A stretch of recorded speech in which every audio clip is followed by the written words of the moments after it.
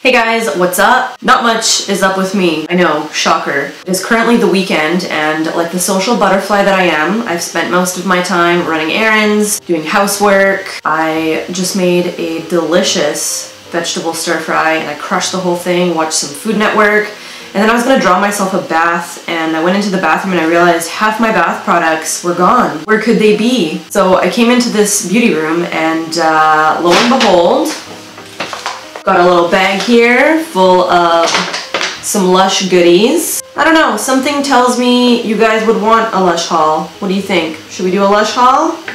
We gonna do a Lush haul. I left this bag in my beauty room because I had every intention of filming a Lush haul about a week ago and I never got around to it. So I feel like the stars have finally aligned and uh, we're gonna do it. So I'm not going to go in any particular order here and I'm not going to go into major detail about the company or the background. I have done two other Lush videos in the past. If you're new to my channel or you're new to Lush, I would highly recommend watching those two videos first and then watching this one. One of them is very in-depth. I think it's my favorite Lush products and it's very long but it'll give you an overview of what I think is dope by Lush and just sort of a background on the company and all that. So I'll list those two videos in the description box below, or you can just disregard everything I said and just live your life and watch this video. Most of the products in this video are repurchases, but I thought I would film it anyway because I love doing Lush hauls and I love watching Lush hauls, and I feel like you guys do too. So I'm gonna start out with uh, this is Sandstone. It is a solid soap and I believe it's $7.95 per 100 grams. I got 135 grams, so I paid $10.73. This is their most exfoliating abrasive solid soap. It's got sand in it, and it's got lemon oils, it's got coriander and gardenia oils, and I believe those two are meant to tone and brighten the skin. The sand obviously is in it to exfoliate your skin. I like to use this directly on my skin or with exfoliating gloves. It is very abrasive, so if you're sensitive skinned, I would probably just do like a little patch on your hand and see if you're sensitive to it. If not, you're probably good to go to use it directly on your skin. Chris is very sensitive skinned to the point that if you scratch him, that area where you scratched will swell up. And he gives his stamp of approval on this. It smells, it smells like a straight up lemon bar. It's just all sorts of lemony goodness. I like it a lot. It lathers and it leaves your skin feeling really clean. This has an ingredient in it that I'm not gonna butcher on camera. I'll probably just put it on the screen, but it is responsible for that really lemony scent that this bar of soap has, and it's also antiseptic. So I actually like to use this on my shoulders and my back and my arms. I sweat like a fucking pig at the gym, and unless I shower right away, sometimes I tend to get little breakouts on um, my back from my sports bra, and this definitely helps with that. So if you haven't tried this and you're into lemony scents, highly recommend. I also picked up another Rub Rub Rub shower scrub. This is hands down Probably my favorite scent that Lush makes. This is my favorite scrub of all time. This smells so good. It's got orange blossom in it as well as mimosa and um, the base of it is fresh sea salt. It has very little water so a little bit goes a long way. It's sort of like a jelly consistency. I like to use this um, with my exfoliating gloves. Sometimes I'll use it directly on the skin. First I wet my body and then I step away from the shower head and I go into like the corner of my shower and I put a little bit on my exfoliating gloves and I just go to town on my entire body. It's especially good if you self-tan and you want to remove that old tan before you retan your body. I love using it for that. I like to use it before I shave. It makes my skin so smooth and it doesn't dehydrate my skin or leave it feeling really dry afterwards. I wish they would make a perfume in this scent. I would be all over that shit. Although I feel like Lush Kitchen might have come out with a Rub Rub Rub perfume in the past. I just didn't get a chance to purchase it because I wasn't on the website in the first 10 minutes that they announced it things tend to sell out like immediately on the Lush Kitchen. And this big tub, I think was 23 bucks. I also picked up a new tub of D'Fluff. This is a strawberry shaving soap. This is just heaven in a tub. It's sort of like a marshmallowy texture. It's really fluffy and moussey. It's made up of strawberries, I believe egg whites, um, some type of syrup. It's got coconut oil in it, vanilla, orange peel, cocoa butter. It's absolutely amazing to shave with. I like using this all over my body, but I especially love the way my underarms feel after I shave with this. And uh, my little Scentsy Lady Bits. Super smooth. I'm not uncomfortable talking about that. I feel like we're, you know, I find that since I've switched over to this shaving cream, I've had less redness wherever I shave and less ingrown hairs, which is a major plus. It comes in two different sizes. I think there's one that's a little bit smaller than this and it's 11 bucks or something, or this giant tub, which is 18 bucks. I've got a few shower gels in front of me and a shower cream, and the first one is a limited edition Christmas item. I was unable to purchase it myself, and it's like I sent out a fucking bat signal out there, and my best friend just knew and purchased it for me for Christmas, and I am forever grateful. If you are a Lushy and a diehard, you're very familiar with this. It is the Snow Fairy limited edition shower gel. I was avoiding the mall pretty much at all costs around the Christmas season and apparently I forgot that online shopping was a thing so I didn't get a chance to pick one of these up. This is like liquid candy in a bottle. That's all I'm really gonna say about this because it's no longer available and I feel like it's almost painful that I'm waving this around in your face since you can't purchase it anymore. I wouldn't even bother going on Amazon to be honest and trying to find it. You might get totally screwed over. But uh, yeah, Chris will not be allowed to use this.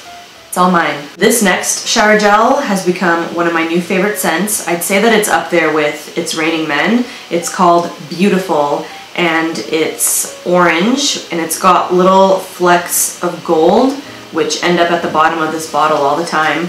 It is so nice and funny story, when I first got this, I was telling my girlfriend that I love the scent of this because it reminds me of just nature and buttercups and dandelions, even though dandelions don't smell very nice. But I was just saying I felt like I was engulfed by nature when I was washing myself with this and I just couldn't put my finger on it. And she just looked at me like I had two heads and informed me that it's supposed to smell like peaches and apricots and mind blown. It totally smells like peaches, but I feel like there's something more to it. There's some kind of fresh mintiness that I can't quite put my finger on. Anyway, I would highly recommend picking this up. It is new and it smells amazing. I think this one was 19 bucks, maybe 18 bucks, and the really, really big one's like 28 bucks. So I picked up another bottle of the Comforter shower cream. This is supposed to be the shower cream version of the famous Comforter Bubble Bar by Lush. That one is my favorite bubble bar of all time. It smells like black currant candy.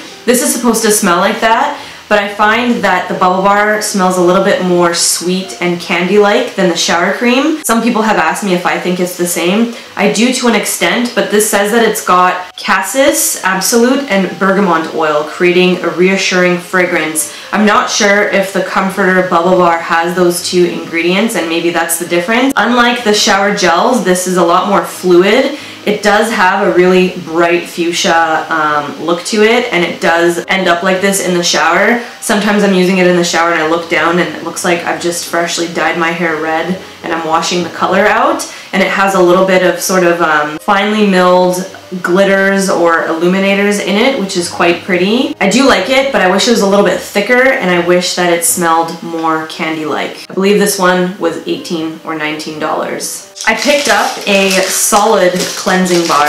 I'm new to this product. I've only been using it for about a week now. This is Coalface. It smells very much like Dark Angels, and I've talked about Dark Angels in my previous videos. That one is sort of like that putty texture, just like Angels on Bare Skin. That one is also super abrasive. This one is charcoal based as well, but it's more of a charcoal powder. This is good if you've got oily combination and acne prone skin. The charcoal powder helps to sort of absorb extra oil on your face. And it also has sandalwood and rosewood and those fight redness and blemishes. I like to just run this under the water and um, either rub it directly on my skin or in my hands and then rub it into my skin and I like to get right into like the area around my nose and on my chin and on my forehead because although it's really gentle, it does have a little bit of that exfoliating feeling to it. And this shit leaves your skin clean. And when I say clean, I mean like squeaky clean. So you definitely have to use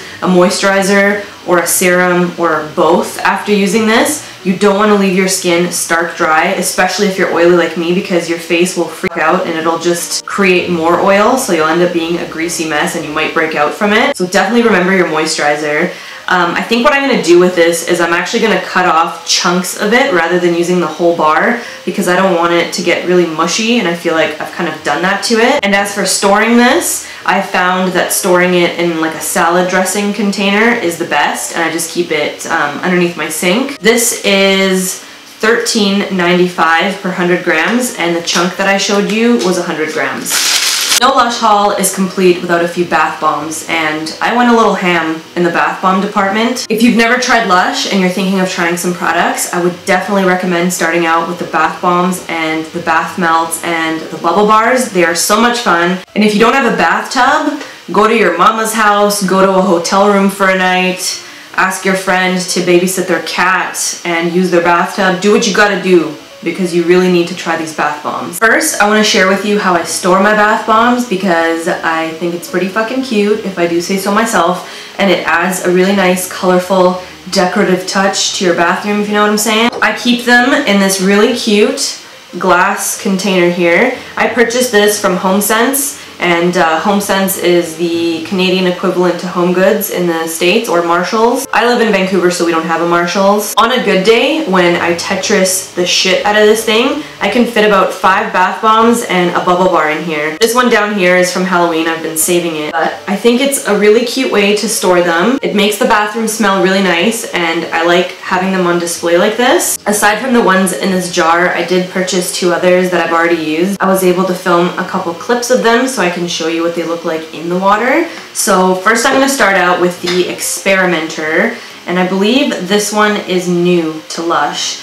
It's super colorful, it's got a cool shape. I wouldn't really say it's my favorite scent, but it's like a explosion of color in your bathtub. The scent of it is supposed to be vanilla and tonka. It's super psychedelic, it's so much fun to just watch it sort of unravel in the bath. As it melts in your bath, it's pretty cool because it starts kind of crackling like pop rocks. So I've been loving that one. I'm probably gonna repurchase it. I also picked up Intergalactic, which is right here. I haven't used this one yet, so I'm not sure what it's like, but the website says that it's an awesome mix of refreshing peppermint and neon color, and it will send your mood rocketing while popping candy takes you on a trip around the Milky Way. Before you leap too far, rogue layers of vetiver and cedarwood take hold, evoking the warmth of human contact far away from home and a hint of 80s aftershave. Sounds like you don't ever need to experiment with shrooms or LSD, just get yourself an intergalactic bath bomb and you're golden. I also picked up another Big Blue bath bomb and it is one of my favorites. It's so much fun. It's huge. It's actually packed with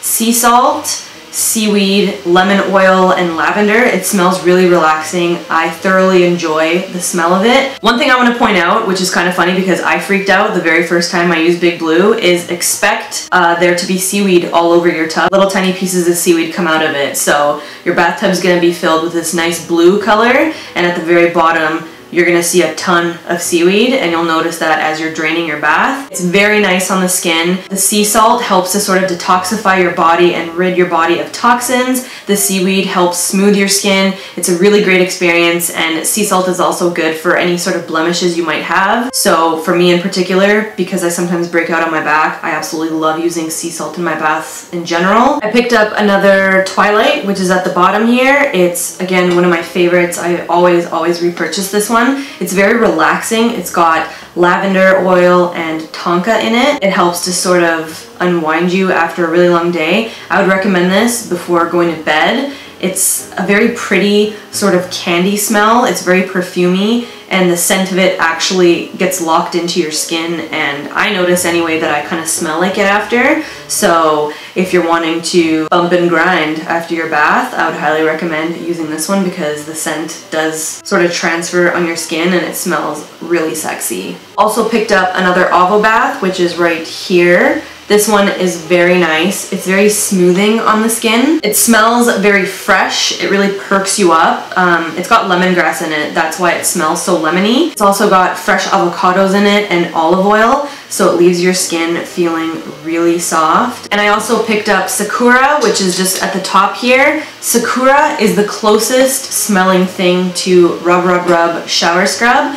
And I believe it's because it's got blossom in it and that mimosa scent. It's also got lemon oil and jasmine and I believe Rub Rub Rub also has jasmine in it. The description says, Beautiful bath bomb represents what it's like to be in a park while the breeze blows through the blossoms in the trees.